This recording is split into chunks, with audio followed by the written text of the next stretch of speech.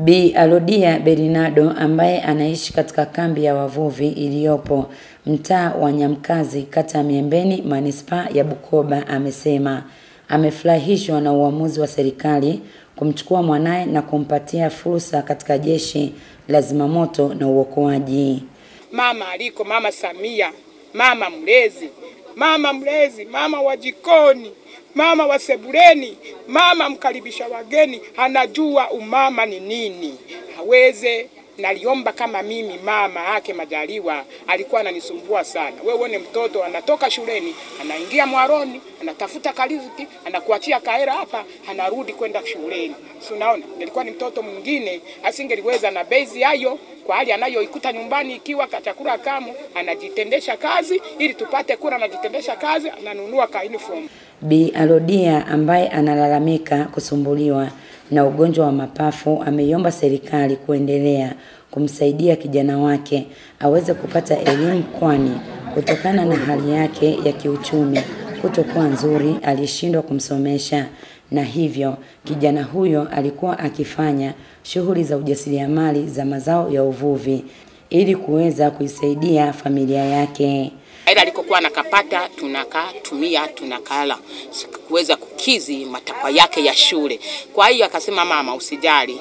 Na kule shuleni unaona, ikaonekana kama ni mtoro, akasimamishwa, lakini hali nikaenda nikambembelezea shuleni, nikajikokota, hawakuweza kusika. Akasema, unaona siku alizozimaliza, na kweli ilikuwa ni halali yao ya kusema hivyo, kabidi na mimi niache, lakini mtoto wangu akawa analia. Ndoto za Majaliwa alikuwa anapenda sana kusoma.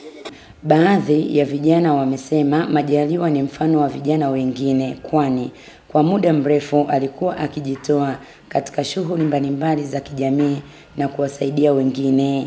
Nimesoma naye na tumeachana kwenye form 1 pale mwishoni mwezi wa kumi na mbili. Tulikuwa tu kipindi tuko wadogo, tulikuwa tunapendelea sana kuogelea kwenye maji mle ziwani. Alikuwa anapenda sana kuogelea kuelekea chini sana, sisi tukawa tunaogopa kumfata, lakini alikuwa na ujasiri wa hali ya juu. Nimemkuta hapa ikiwa ni kijana mwema, mstaarabu, msikivu. Kuna kipindi ilitokeaga ajali majini pale, kulikuwa kuna wavuvi, watoto walikuwa wanaogelea, wakaogelea, mtoto mmoja akazama. Majaliwa alikuwa mtu wa kwanza kuingia mle majini kumwokoa.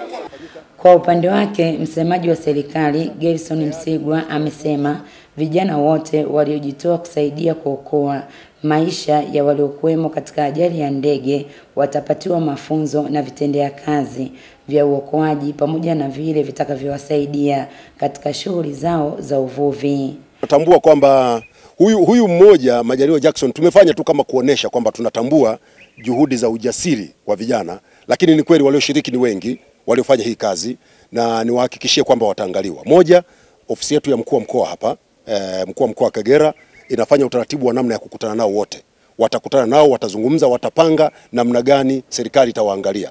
Aidha, msemaji huyo wa serikali amesema kijana Majaliwa Jackson tayari amesajiliwa na Jeshi la Zimamoto na Uokoaji ili kupatiwa mafunzo ya awali. Mariam Emily, Stativen Kagueran